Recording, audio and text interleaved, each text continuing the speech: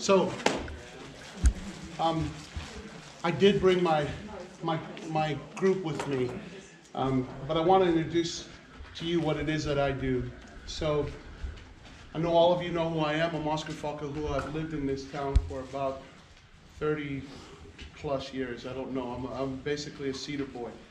Um, when I came here, there was a total of uh, about eight to 10 athletes that were of color that played on SU's football team. Um, and it's changed quite a bit since then. And I'm excited because it's like, it's good to see so many different cultures in our little town. Um, however, today I want to share with you what I do for work. And I work with, I work with um, people right now all over the world. Um, I started this little thing called the O Show on Facebook and went from there and then went on to Instagram and now it's on TikTok. My TikTok channel went from zero to about 90,000 in four days. 90,000 people viewed it. Right now it's at about almost 40,000 people follow it. And it's basically just talking about what we're going to talk a little bit about today, right? We live in a world where youth are all going through a lot of struggles, and a lot of our families are struggling. I, I share with a lot of people about the struggles that we're having because we're sitting on a wave. Um, businesses are always looking for what is the wave that's going to carry us onto wealth. And I'm here to share with you, we're on a wave of mental health. Mm-hmm. Mental health is going through a huge thing right now. And it almost seems like it's just not a big deal. But I will share with you that we have more families that are appearing in a lot of the treatment centers that I do work with, more now than ever before. And parents are always crying about what do we do to help our kids? How do I get my kid to listen to me? What can I do that would help them want to listen? And so you have a piece of paper with you, and it's got a bunch of numbers on it. Beautiful. We're to give them a of one minute. Okay. Alexis here will start you when I say go. When that one minute is up, she'll stop. What you're going to do is you're going to find the number one, and then you're just going to follow it in order. You're going to follow one, two, three, four, five, all the way as many as you can within one minute. Ready? Begin.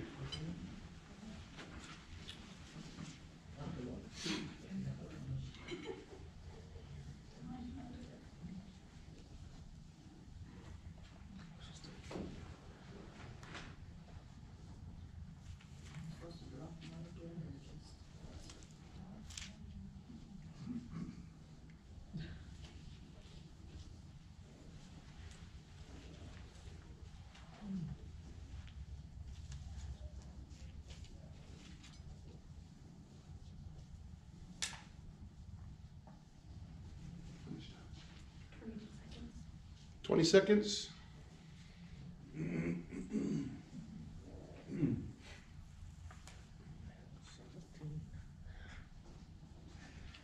Ten. Five. And stop. How many of you got more than five? How many of you got more than 10? Keep your hands up. 15. 20, 25, 30, 35. You got 32. Beautiful. Let's give her a big hand. So, I got 32. so, this little number game, this little number game, believe it or not, as simple as it may seem, there are tons of families that when they look at those numbers, it causes a lot of havoc in their way of thinking because it becomes chaotic. If you look at the numbers, they're all over the place. And so a lot of families are going through so much chaos that they don't know how to get things back in order. And they don't know how to get things back to a position where they can feel like they can live whatever is called normal. Right? So what they do is they come and visit somebody like me, they can do it through the internet. Um, they can do it on the phone. Um, they can come to a residential treatment center that I might go in and do a presentation in, or I go into different businesses and talk to a lot of the youth that work in those businesses and share about learning how to create relationships, learn how to be taught, and also learn what correction looks like. However, in our families, what happens all the time is this little piece of paper represents chaos, but it also represents relationship. You just did a little something, and here I am still talking to you, and you're all looking at me like Oscar has something important to say. Right? And though that might be true, there's a relationship being built between you and I right now. The more that I can strengthen the relationship between us, the better it is that you want to hear what I have to say. Right? So the tone of my voice has to be one of two ways. Either I'm hardcore or I'm soft, so that you're sitting there going like this, well, I, his voice doesn't really bug me. Right? It's, it's actually pretty, I, I don't mind listening. So that's what happens quite often when I'm singing to the people that are listening. So when I start to listen, when I start to share with them what it is that I do, there are people hitting my my site asking me, "Can you tell us what you do?" And I start sharing with them. I'm a life coach. I help people and their families learn how to reunite. And before you know it, people are asking me all kinds of things. So I go from singing a ton to now sharing a ton of information. What I want you to learn today is everything that happens in all of our lives falls into a pattern. When we're in the chaotic state, there's a pattern that's happening. And as long as that pattern stays like that, then our family continuously is always feeling stress. How many of you have ever been there with your own families? Yeah. I, don't know if you've ever seen my house, but I got tons of kids and then nephews and nieces. And when they're all there, it's chaotic as heck. Right? It's chaotic. And then when their parents are trying to get involved at my house, it becomes more chaotic. And then it causes frustration. Take your kids and go home. no, take them, because I want to enjoy my own meal. like, come on, bro. We're, we're all hungry. Okay, sit down, let's eat and be quiet. If you came to a Tongan home, most of the time when there's people eating, there's not a sound. It's quiet until everybody's full. Then all of a sudden it becomes loud again, right? Patterns that we live by. So I'm going to give you a little pattern on these numbers that will help you, right? So that you understand that no matter what we battle through, we have to be able to recognize the patterns. So Right up here by the five, you'll see a little dot right next to the five, like a little period. Mm-hmm. You'll take your pen and draw it straight down. So you'll see another dot down there somewhere and match that dot. And then if you look on this side, right under the 17, there's another dot and draw a line straight across from there. You should have four quadrants. Everybody have four quadrants? Yeah. If you look at your four quadrants, in this upper right hand corner, you'll find the number one. In the left, you'll find number two. On the bottom left, you'll find three. The bottom right, you'll find four, and so on. If you just follow that pattern, you should do better than the first time. You got one minute. Ready? Begin.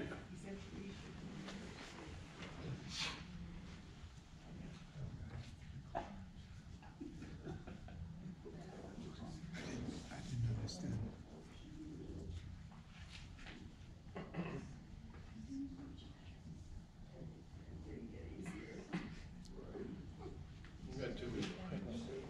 I- I'm not, I'm not, underst- I didn't understand what you said. So you have the quadrants. Yeah, Draw this one directly. Sorry about that. Draw this one directly over here. do what? Just all the way through the 15. Yeah, there you go. And you just go. 20 through the One seconds. here, two here, three. And just follow the one. Oh, And you'll be able to find the numbers. Ten seconds. You know when to draw circles around the numbers, Bob. It's only when my brain thinks. Oh, did you? That's time. And time. Just by show of hands, how many of you got better? Everybody. Okay. No, I did. How many of you didn't get any better? I did. Was it because you were talking? I- Actually, if you, s- it's the line, it blocked me. And that happens. That happens. He already Okay. had about twenty quadrants. So let me just share real quick so that we can keep moving on, because I brought a surprise for you, okay? So when we start to figure out that there are patterns that we live through, then we're able to put things back into place and be able to understand what it is that we're trying to do. The simple pattern that I try to teach quite often, and everything I do is very simple. I'm a simple, really simple guy. This morning I put out a TikTok and it basically talked about three things. Number one is relationships. Number two is teaching. And number three is correcting. The chaos usually begins because most people start off with correcting. We're always correcting. Why did you do that? Come here, fix this. Why are you not? Didn't I not tell you to fix that? Fix it now right? Whereas if we go back to what does the relationship look like, then all of a sudden it becomes a lot easier for us to want to hear something so then we can teach. Then when we provide the teaching, then we actually have something to correct. Does that make sense? And I'll just share a quick story. I have a set of twin boys. My twin boys, they were doing um, dishes one day. They're probably like five. They're twins, right? So they came running into the room. They're like, "Daddy, come, come look, come look, look at the dishes." And I'm like, "Uh oh, you guys did dishes? We did dishes." I come out. We walk in. The whole kitchen looks pretty dang clean, and I'm pretty excited until the, we opened up the dishwasher. When you open up the dishwasher, there's literally dishes stacked in the dishwasher. Cups were turned up everywhere, right? They even tried to fit a pot in there on top of things. Forks and knives are just thrown into the dishwasher and not in the little slots, right? And what hit me was, is that I was like, oh my gosh, more work for me. Until they looked at me and then it hit me. I can't get upset. They don't even know what they're doing. They were trying to do something good.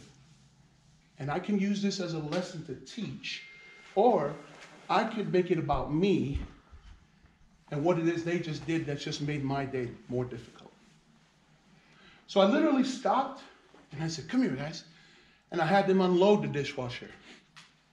And they're like, Did we do something wrong? No, you didn't. But daddy didn't teach you what it is that we do with the dishes. And they were standing there like, well, well, isn't, isn't it all we do is put it in there? No, there's certain ways we have to do it. So they stood there and they watched me as I started to load the dishwasher, plate by plate, putting forks, knives, and spoons where they go, taking the cups and turning them upside down, and putting everything. You see this one? This is called a pot. We don't put that in there with everything else because then nothing else will get washed.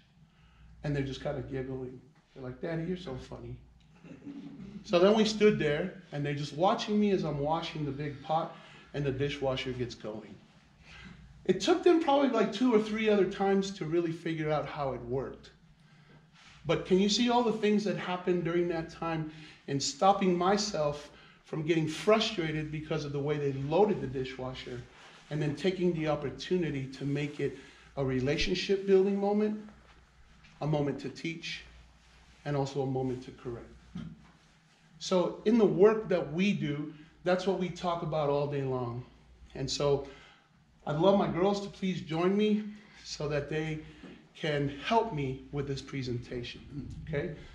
I'd like to ask you to do me a favor. Can we have you pick up your table and move that way? And then you guys can follow too. So that we can fit in.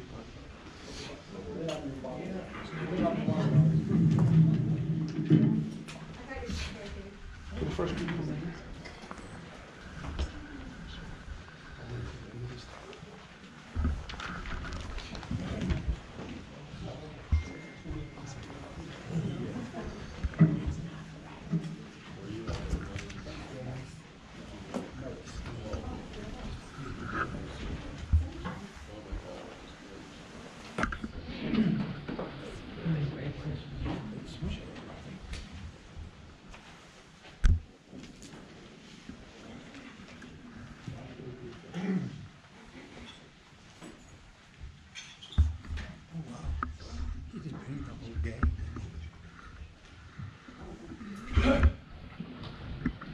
So, most of you know, you guys are welcome to come in. Sorry, but we're out of seat, but you're welcome to come in. We were just talking about how important it is to allow our club to grow. Our club meeting should feel like this all the time, right? So, those of you that are not members of Rotary that are here, you've all been invited by me to bring these girls, but at the same time, take a good look at what this club does. Okay? I brought this presentation today because I want our club to understand that we don't only affect people all over the world. We affect people right here in our town. We have these young ladies here, there's probably four or five of them that didn't come today because of therapy, but they wish that they could be here. The whole goal of our whole entire team is to show off our kids. When we become parents that want our kids to be seen, is what it is.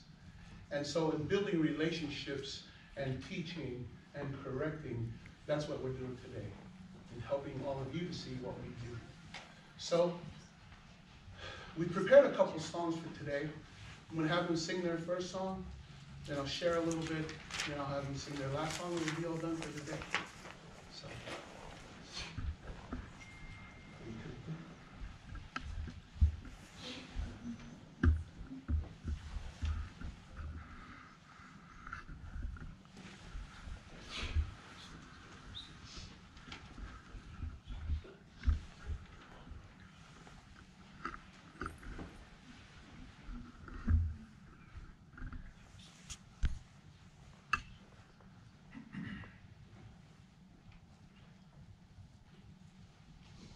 You good?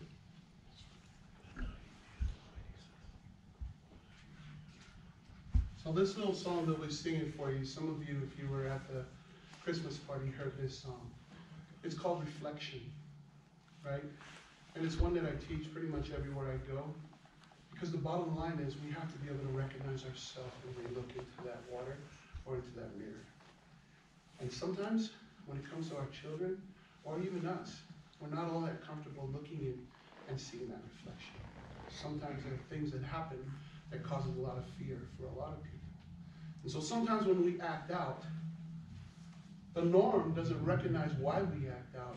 They just know that there's something about that person. They're crazy. They're nuts.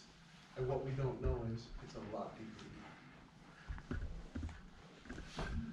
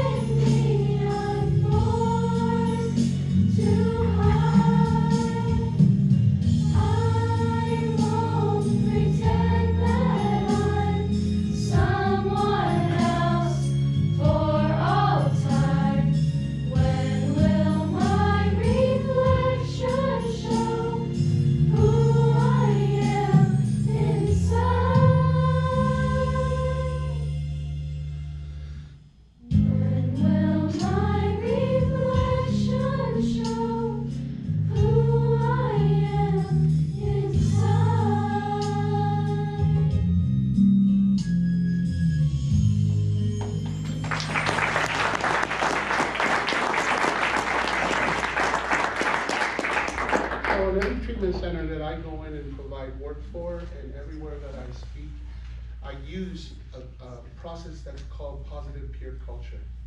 The reason why I use it is because we live in a world that needs to learn how to build relationships. And we are in a relationship business. That is what we do. There are still businesses out there that work through, you do it my way or you're in trouble. And that's not the way the world works anymore, right? Positive peer culture is a way for these students to learn how to help each other. And there are days where it's absolute hell. And then there are days where everything is peaceful. And it works that way in our homes too, right? But I want you to watch this. Who can tell me what is low self-image? Please stand. Um, it's a feeling of like kind of not feeling worth it on the inside and the outside, and just like I would say judging yourself no matter what people say. Thank you. After we go through low self-image, what is usually the next part to it? Please stand. Speak loud. Um, it's usually inconsiderate of others. Why do we become inconsiderate of others? Go ahead. Seven. Okay. Because we have low Please self. stand. Okay. um, it's because we have low self-image. Thank you. What's the next one after inconsiderate of others? Go ahead. Please stand. Um, inconsiderate of self, And why do we do that? um, mainly because our low self-image. What does our low self-image do to us, and why are we inconsiderate of others and incon- inconsiderate of ourselves? Go ahead, Lana. Um, it's be like, wait, can you say the question again? So, why do we tend to be inconsiderate of others and inconsiderate of ourselves when we go through? low self-image. Um, low self-image is for. Can I say what it is to me? Yes. Um, low self-image for me is like how I think about myself and how I look on the outside and how I feel on the inside. Um, so yeah. Is there anybody else that can add to that? Never mind. Go ahead. Um, I honestly think that when we are inconsiderate of others and inconsiderate of self, it is because of low self-image, and we feel, I think, um, we feel like, I don't know what the word is, um, in, ah, yeah, the need to project it onto others, and, um, yeah. Thank you. You want to? Go ahead. Well, for me, low self-image is like feeling like rejected and feeling like I am not worth anyone's time. And so I feel like a lot of times I'm inconsiderate of others and myself because I feel when I'm inconsiderate of myself in general, I feel like I am inconsiderate because I feel low of myself and because I feel like my like I feel like I'm rejected all the time. So why care about myself, you know? And then um, I feel like inconsiderate of others mainly because I want to make ev- everyone else feel the same as I do. Thank you. Yes. Um, like with my low self-image and all that jazz. Um, with like inconsiderate of self, I just keep telling myself like I can't amount to anything. Like all these people are higher than me. Like why should I try and even like show them that I'm that? And like it leads into inconsiderate of others because I'm not sharing like kind of my point of view on situations and like just ignoring everything since you know feel that way. Thank you, Rachel. You got something? Please. Hi. Okay. Um, for me, low self-image. If I'm being inconsiderate of others, it's because like I feel so low of myself that I want other people to be low with me. And um, when I'm inconsiderate of myself, it's because I feel like, yeah, like I'm worth nothing, and so why care about myself? Thank you. Who can tell me about fronts? Aubrey. Um, with fronting, it's like you are acting happy when you are sad, and you don't really reach out to other people, and you just keep everything bottled up inside until you can't hold it up anymore, and then it eventually explodes everywhere. Thank you, Anybody could add to that? You. Lauren. Um, I see fronting as putting on an act or a show and letting everyone know that you're okay or letting everyone know that there isn't a single thing wrong when actually everything inside of you is tumbling and falling and it's just kind of unraveling like a thread. So here's a question for you. How many of you are still pretty upset with your parents? Claire, can you share? Please do. I think I'm still upset with my parents because it's like I still don't know why I'm here, and I feel like I'm upset because when I did leave, I felt like like I feel like their lives got better, and so I just feel like you know what was the point of me even being here, and what was the point of like being alive because if I wasn't like good enough to be with my family, I had to go to treatment. Like why they want me at all? Thanks, Claire. Can you tell us about your parents? Um, I think I'm like angry at my parents sometimes because I don't understand why they like, like they adopted me and then they would like send me away. Or like, they adopted my sister and then all of a sudden like she's the priority of the family. And it's just like I got upset because it was just like, you know, I have a lot of issues with my adoption just in general. And so it's just like all of a sudden, so why don't, why can't I fit a family? You know, I was given away from my own family and now I can't even fit the family that I got adopted from. And so it's just like, I guess I'm angry because it's just like I could never fill the spot that they wanted me to. And it just makes me more angry at myself. Thank you. Yes. The reason I'm still mad at my parents is just because, like, when I first came here, like, I was just pissed, hell pissed. Um, and, like, to this day, my family sends me letters, like, almost daily and just, like, tells me that they love me. And I just get confused because if you, like, sent me away, like, why do you still love me and care for me even though I've done all these things to you? Thanks, Rachel. Yes, Andy. Can you come right here? Because you speak really quiet. Can you speak up? Um, Thanks. I'm like mad at my parents, like, you know, um, but I feel like my parents, like, sending me away because like, I'm still like wanting to know about my adoption, like, I've been like pushed around to different families, and like, I feel like, even though this is like the longest family I've been in, they don't want me anymore. It's like really like, angry because if you want me, why do you send me away? And like, why do you like write me letters, like, you know, haven't got a letter since like my first month here. Um, it's kind of aggravating. for. How long you been here? And you know, almost a month. Lana, when you first came here, can you stand up, please? How old were you when I, when I first met you? Four, mentally. I'm actually 14, but mentally I was four. Can you share with them why? Because um, when I was younger, I missed like an area in my childhood that I didn't have like the attention I needed, or I didn't have what I needed, and so when I came here, I felt like oh, I can actually be myself and relive that age. Um, so I did that for a while. And we named you what? I don't remember Did we call you by name or did we call you by age? age. So what was your name for a while? Four-year-old. His four-year-old. How old are you now? Um, 11, sometimes 12. Thanks, Lana. I appreciate it. So, I just want to share this with you really quickly. Can you come here, Cece? Every one of these children have different stories. Um, and this is a really special story to share with all of you. How old are you? 13. Can you drop your mask up? How old? 13. And how old are you, how old do you act quite often? I want to like 4. And when you act like a four-year-old, what do you do? What does a tantrum mean?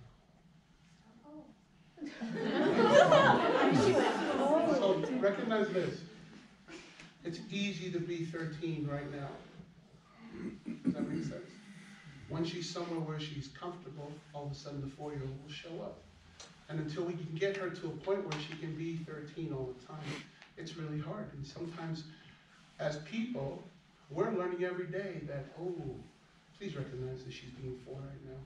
Because sometimes, and I'll, and I'll tell you this, this one right here has a lot of things that she's gone through, right? Like what? homes and And when did you get adopted? last year. At thirteen, right? So, Anyway, this is Cece and she's never highlighted, that's why I wanted to highlight her today.